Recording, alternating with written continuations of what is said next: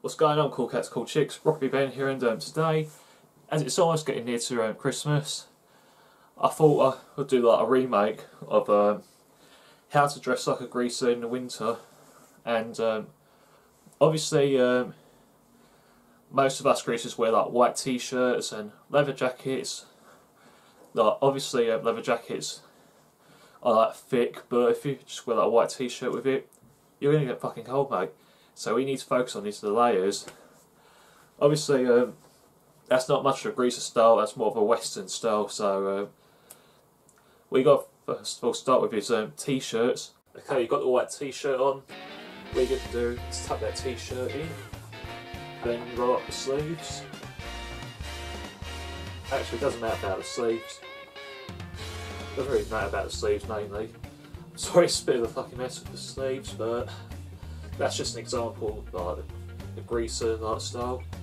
And um, obviously, when it comes to like the winter, you can't just wear a t-shirt like I just said in the beginning of the video. What you need now is like a shirt for the layers, like bowling shirts or winter like shirts. I'll give you an example. As you can see, this shirt is more like a winter material kind of shirt. What I'll do is put that shirt on, button her up.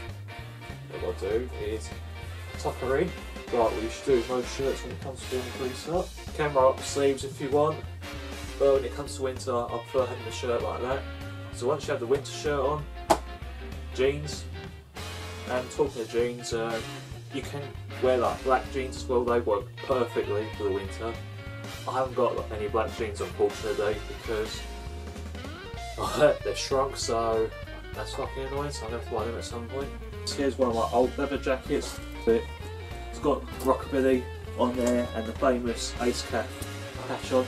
I don't really wear it much because it's more like a biker's thing. So I only wear it when I go to the Ace Cafe.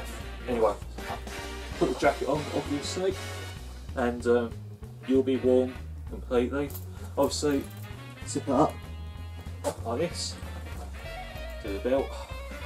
No, no, that'll be see because I've got the badge on there. There you are, you'll be warm and cosy. And um, if your neck is like cold, another alternative is put a scarf on your neck. Give me a minute. Like any kind of scarf will do.